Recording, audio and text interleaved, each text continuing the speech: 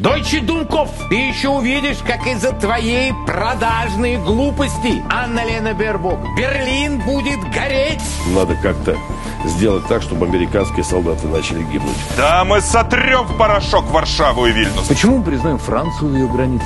Как я хочу посмотреть, чтобы Урсулиха фон дер Ляля корчилась с куском беспилотников в глотке. Когда на сегодняшний день мы говорим, что война будет безъядерной, мы, наверное, лукавим. По количеству на душ населения, правда, Канада ее опережает, но Америка это мировая держава подобрела. Я сейчас требую спалить Берлин. For decades, Russian leaders and propagandists have used false claims to pave the way for military aggression. We've seen it with the Russian invasion of Chechnya, Georgia, and Ukraine. But just how far is Russia willing to push? Are its imperialistic aspirations limited to its neighbors? According to the rhetoric coming from Russian politicians and propagandists, the Kremlin's appetite for conquest knows no bounds. For example, here is Kremlin propagandist and main hater of the West Vladimir Solovyov attempting to depict the US as the leader of the collective West, suggesting it poses a threat to Russia. Consequently, he argues that Moscow's ambitions for conquest should stretch as far as the Mexican borders. We should understand, our borders go all the way to Mexico. Our borders don't end in the city of Chop. Our borders end wherever the security of our country will be ensured. If we need the Atlantic Ocean, then it will be the Atlantic Ocean. But it's impossible to reach these borders when our 150 million stand against a half billion, and that is just on the European continent. This means that we should stop being shy. While we watch the invading armies being prepared for when they think the Red Army is exhausted by its vanguard engagements with the Ukro Nazis to strike us in our soft underbelly, to strike us from the north, to strike us from the west. For this purpose, they will attempt to bring Polish troops into Kaliningrad. With the next strike, I don't rule out they will try to take St. Petersburg.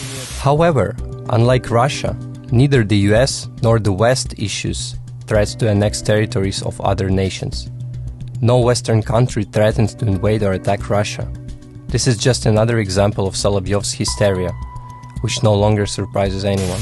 And here is him attempting to disparage Europe, leveling accusations of Nazism and colonialism, while also suggesting that Europe should brace itself for demands of retribution due to its history of colonizing and subjugating other regions for centuries.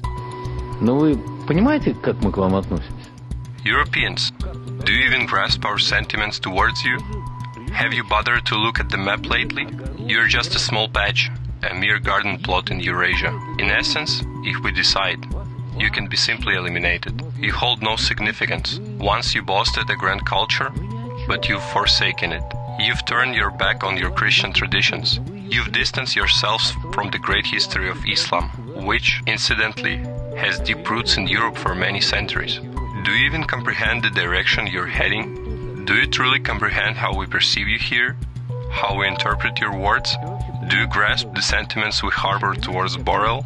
Because everything you say reveals your inherent Nazism. You can't even conceal it.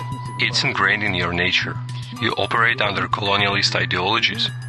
And despite your attempts to mask it, your true colors always shine through. And the most damning aspect for you, as Borrell understands, is that your double standards, particularly regarding Ukraine and Israel, have united the entire world against you. You're a population of a half a billion cramped in the minuscule territory, and the inhabitants of the countries you have plundered, oppressed, and violated for centuries will soon come knocking on your door. They won't be seeking employment in your factories, they'll be demanding reparations from you. And you won't like it, but they're coming. It's quite ironic that Solovyov mentions Nazism, colonialism, and reparations, given that both Nazism and fascism appears to be ingrained in Russia's government, as evidenced by its brutal war against Ukraine. It's Russia that blatantly exposes its intentions to dismantle a sovereign nation. It's Russia that forcibly removes thousands of children from their homes. And it's the Russian military that leaves behind a grim trail of civilian mass graves and torture chambers as it imposes the Russian world on Ukrainian cities and villages.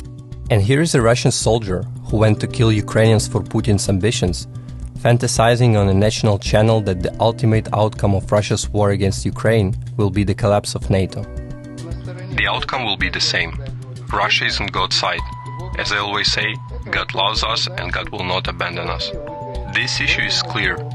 Russia will win in this SMO and other fights. Yes, until 2029-30, we will have to work hard. We will need to put in a lot of hard work. But I can guarantee you this. The end result of this SMO at the final destination will be the dissolution of the NATO bloc in its current format. Most of the states currently following America's lead like obedient puppies will be on their knees, swearing allegiance to Russia and begging to join our coalition. There is no doubt about it. As the world grapples with escalating tensions, one thing becomes abundantly clear. The rhetoric of conquest and aggression from the Kremlin poses a significant threat to the global peace and stability. That's why, in the face of the looming threat from Moscow, the civilized world must join forces to counter Russian aggression both on the battlefield and on the information front.